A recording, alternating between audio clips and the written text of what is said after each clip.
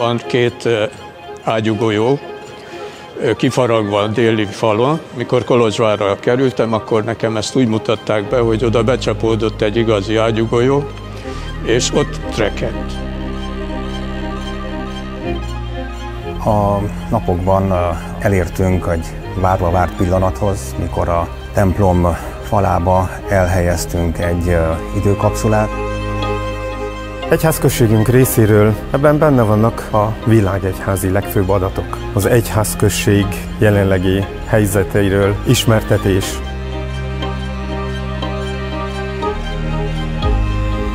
A főtervező és a tervezők nevében készítettünk egy rövid kis bemutatót a felújítási elvekről, mik készültek el építészetileg, szerkezetileg, szerelési szempontból.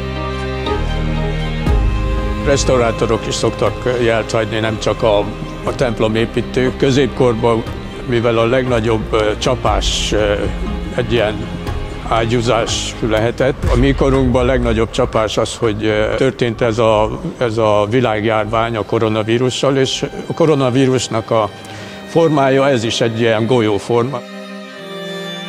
Jövőnek szóló üzenetem, őrizzék meg az Istentől kapott teremtő erőt.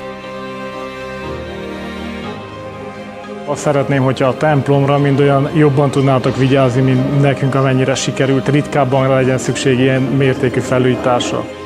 Hittel és bizalommal és jó együttműködéssel mindennek a végére lehet érni. Ha így formálódik a jövő, jöhet újabb járvány, ránk vetülhet háború árnya, megnehezítik olykor emberi gyengeségeink a mindennapokat, de újra valami Isten szép dolog születhet. Ezt kívánjuk a jövőnek.